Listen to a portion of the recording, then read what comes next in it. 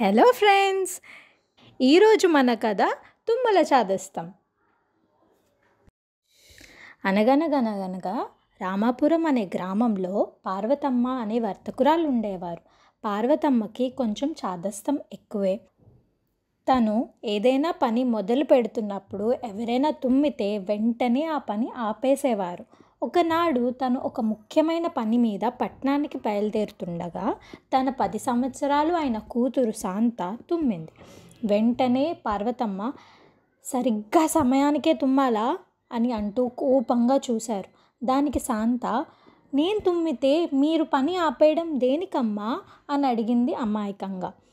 తుమ్మిన వెంటనే ఏ పని మొదలు పెట్టకూడదు. అలా అని మొదలు పెడితే ఆ పని సఫలం అవ్వదు అని చెప్పారు. అది విన్న శాంత మరి అదే సమయానికి ఈ ఊళ్ళో చాలామంది తుమ్ముతూ ఉంటారు కదా అవి లెక్కల్లోకి రావా? అని అడిగింది.